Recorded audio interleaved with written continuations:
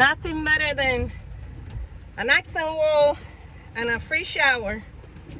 Let's go do this because it's gonna rain for the next three days.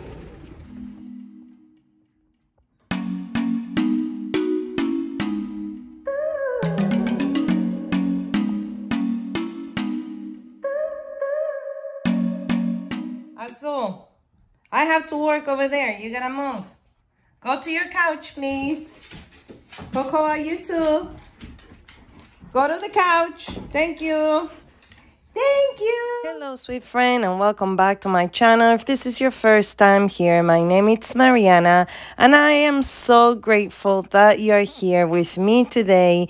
Here in New Jersey, it's pouring cats and dogs. It hasn't stopped raining, but we're not gonna let the rain stop our projects, particularly if we can make them in under $40. I hope you enjoyed today's video and that you consider subscribing to this channel and leaving a comment down below if you are a DIYer or if you're just here for pure motivation and entertainment.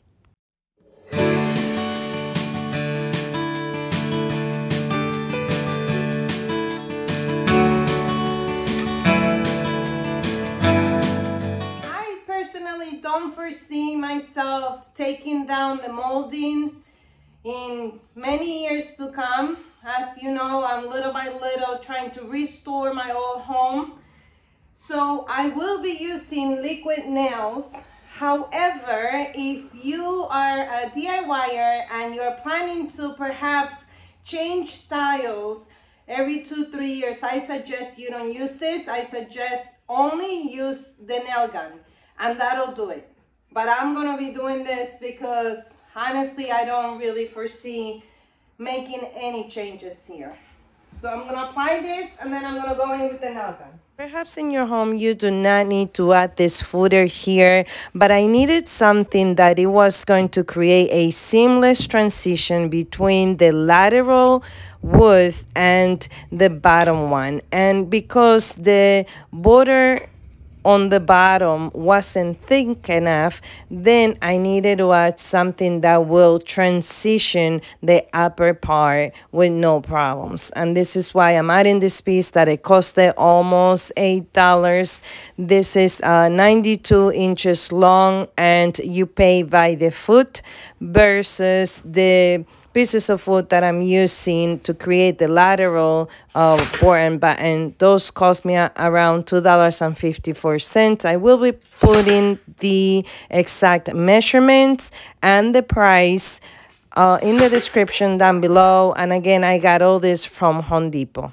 One tip that I have for you is that every time you get a piece of wood, you always have to trim a little bit of one of the edges. And the reason for that is because Home Depot or any other lumber company, they don't cut the pieces of wood evenly. So you want to make sure that when you're measuring one size, it's at a 90 degrees angle. And that's why you'll see me that I always trim a little bit from one of the corners and then I measure and cut and always measure twice and cut once. Although I must be honest with you, I am terrible at measuring. We'll be cutting seven pieces and the length it's going to be five feet long.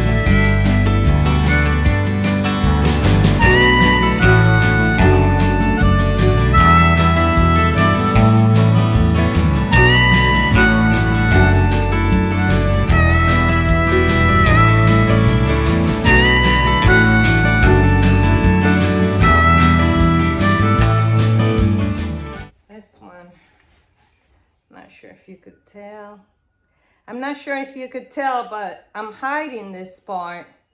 This and this.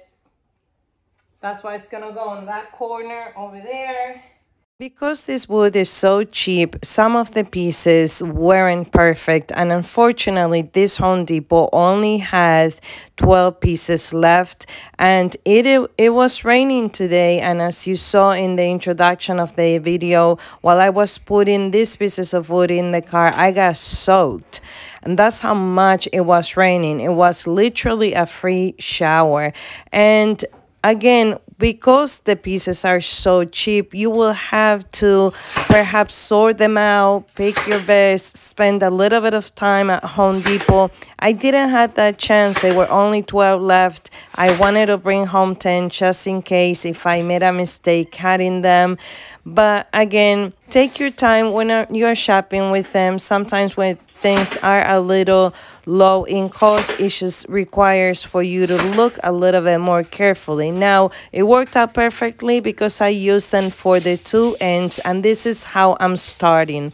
First, I want to make sure that I have the two sides on the wall first and then I am measuring in the middle and then I'm gonna work from the middle to my right and then to my left.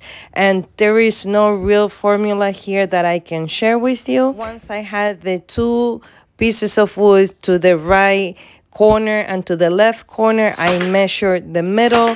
I attach the middle and then I measure from the middle to the right.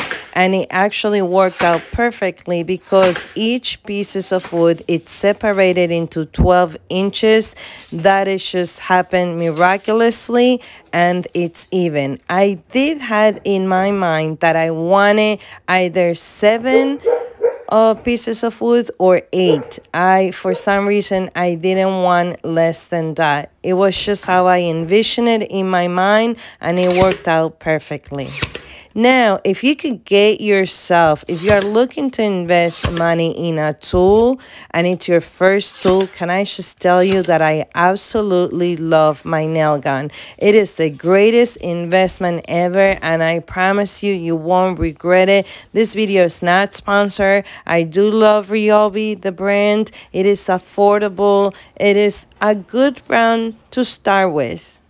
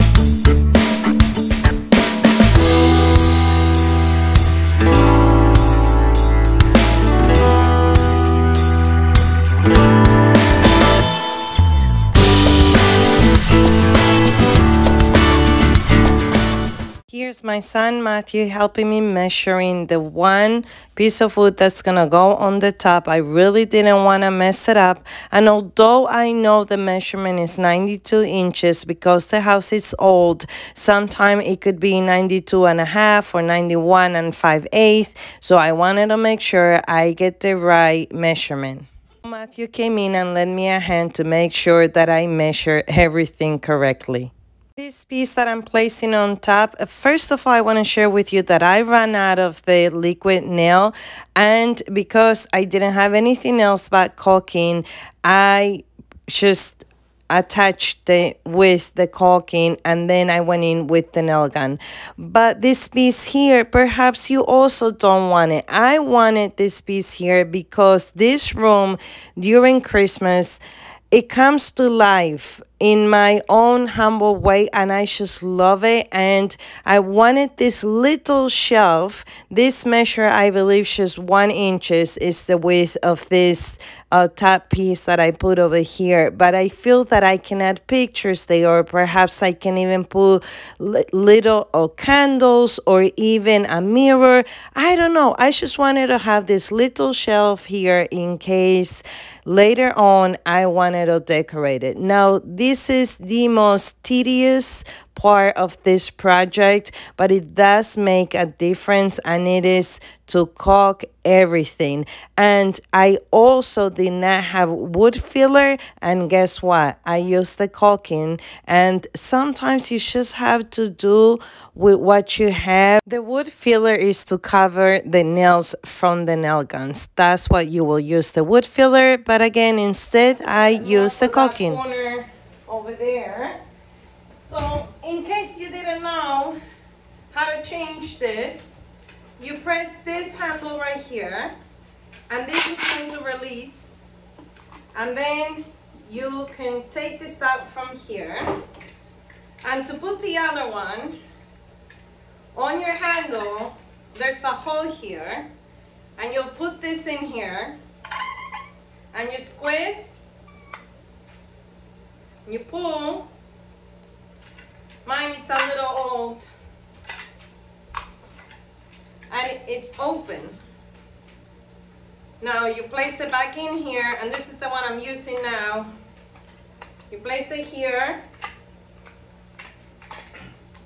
Sorry, just pull this down.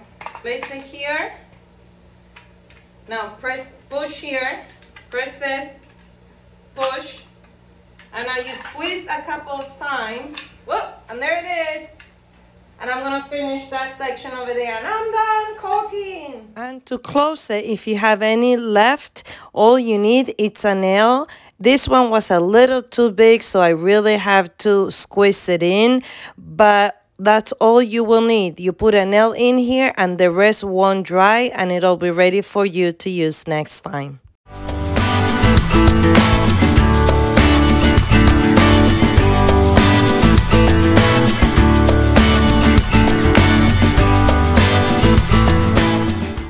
Ideally, it is recommended that you send this wood and the caulking and you even that out or the wood filler. However i did not have the appropriate sanding paper for my sanding machine and all i had at the time was just sandpaper. So i manually went around and i concentrated to making sure there were no splinters sticking out or trying to even out the caulking so at least I can have a, a semi smooth surface. The color that I'm using it's called Breezeway by Behr and it is the same color all throughout my first floor. The reason I love this color so much it's because colors brings you energy. And this color, the energy that brings me is tranquility, is peace, and it also reminds me of the ocean. And I absolutely love this color. And here's my reality I am not a professional. I am just a person that is trying to create a cozy home, trying to restore my old home as much as I can. And honestly, what I enjoy the most about every single DIY that I make is that I discover something new about myself. And I think that is just priceless. And one of the things, the mantras that I believe for this this community here on MVP on the go is that you are valuable and that you have within you the power, the creativity, and the ability to create great things. And sometimes, because we think we need all the, the right tools and the right paint and the right equipment. And if we are missing something, we cannot complete a project. And then what we go into a big brain freeze and we get stuck and we don't accomplish anything. But most importantly, we don't discover the beauty that resides and abides within us. So if you still here, First of all, thank you so much for being here until the end. We are almost done. We're about to start painting.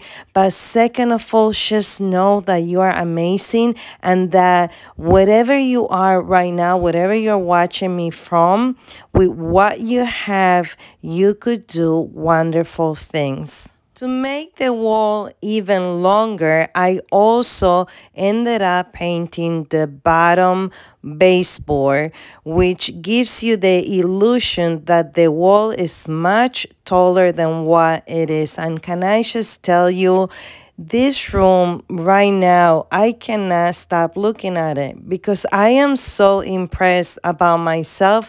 This is the second accent wall that I, I am making in my home. And every single time I make something, I learned. And I don't know, there's something so satisfying about that. Friend, from the bottom of my heart, thank you so much for being here. Don't forget to hit the subscribe button so you could come every every Sunday and visit my home. Sometimes we're cooking, doing laundry and mundane chores, and other times we are doing frugal DIY. Until I see you again, I am sending over a big, big hug. See you, my friend. Bye.